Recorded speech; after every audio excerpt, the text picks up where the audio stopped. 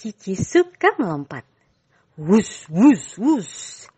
Cici juga suka berlari cepat.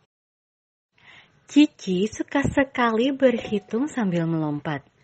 Satu, dua, tiga, empat, lima, enam.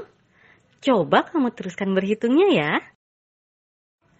Ia juga suka melompati batu yang berwarna-warni.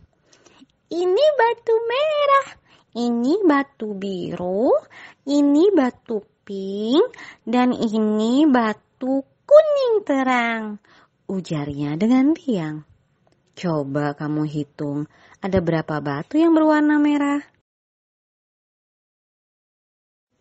Melihat Cici yang terus melompat, Cherry si kupu-kupu temannya pun bertanya heran. Cici, apakah kamu tidak lelah melompat-lompat? Tidak kok, soalnya aku suka minum susu dan makan sayur, jadi kaki aku kuat, ujar si Cici.